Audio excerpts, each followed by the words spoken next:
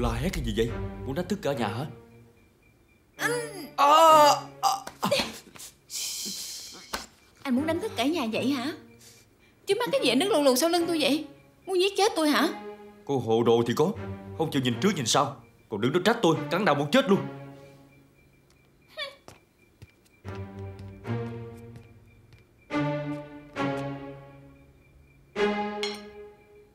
Em thử nghĩ lại coi anh ta đã từng đối xử tốt với em lần nào hay chưa? Lẽ nào lại không? À Em hãy nhìn vào những lần đó Để tiến lên gần anh ta.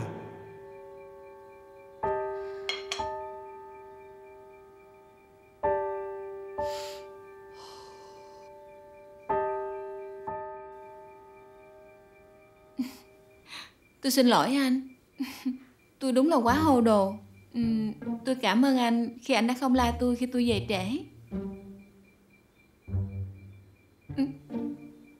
Cô là bị số cao nữa hả? Anh nói vậy là có ý gì? Tự nhiên nhận lỗi vì mình. Tự nhiên nhã nhặn cảm ơn tôi.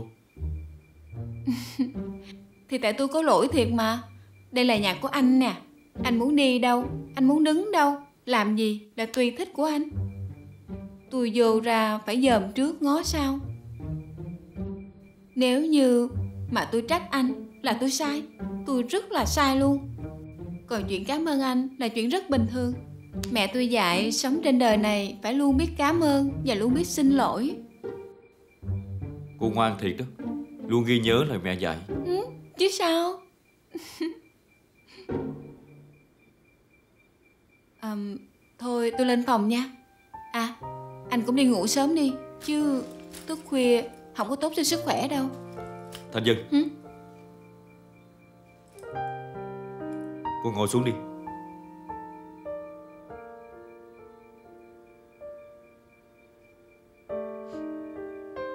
Anh có điều gì muốn dặn dò hả? Cô có muốn vào làm ở công ty tôi không? Nếu cô muốn Tôi sẽ sắp xếp một vị trí thích hợp cho cô. Anh không muốn tôi tiếp tục ở lại nhà này hả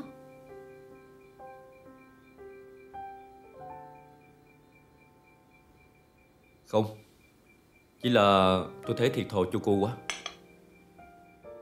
Tại sao tự nhiên anh ta lại muốn đưa mình vào làm ở công ty? Anh ta sắp làm chuyện lớn gì đó Ở nhà này Nên sợ mình phát hiện sao?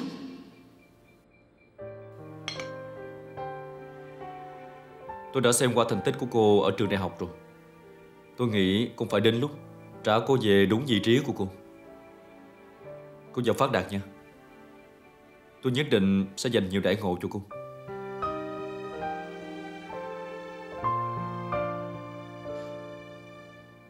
Tôi rất là cảm ơn anh. Nhưng thực sự tôi chưa có nhu cầu. Tôi thấy như hiện nay rất là ổn mà. Mà anh đừng có hiểu lầm. Tôi là loại người lánh nặng tìm nhẹ nha. Sở dĩ tôi chưa muốn vào làm ở công ty là vì Những lý do mà tôi đã trình bày rất rõ ràng khi tôi vô đây nhận việc. Thời gian này tôi đang rất cần tiền. Làm ở đây Đồng lương của tôi không bị mẻ đồng nào hết. Về chuyện đó cô không phải lo đâu. Tôi đảm bảo thu nhập mỗi tháng của cô không ít hơn ở đây. Anh muốn tôi nghỉ việc ở đây thiệt hả? Thời gian qua Nhờ có cô mà em gái của tôi vượt qua được những mất mát. Nó lại vui vẻ yêu đời như trước. Tôi rất biết ơn cô. Tôi luôn mong muốn em gái của tôi có cô bên cạnh nhưng mà Điều đó là không thể. Có đúng không?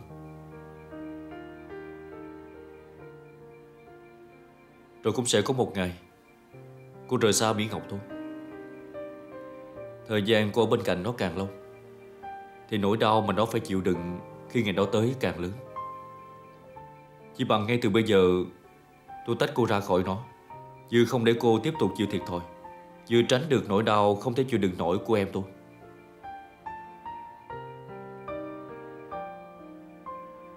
Được.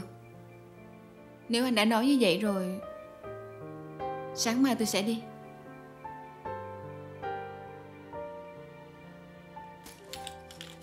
Ờ khoan đã.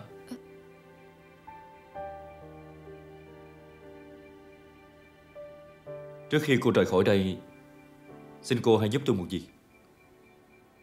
Tôi có thể giúp được gì cho anh? Mỹ Ngọc rất nghe lời cô. Tôi xin cô hãy tìm lý do nào đó Để nó chấp nhận rời xa cô. Và xin cô hãy đi Khi mà Nó chấp nhận được điều đó.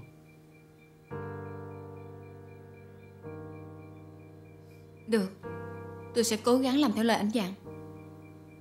Cảm ơn cô. Tôi thành thật cảm ơn cô.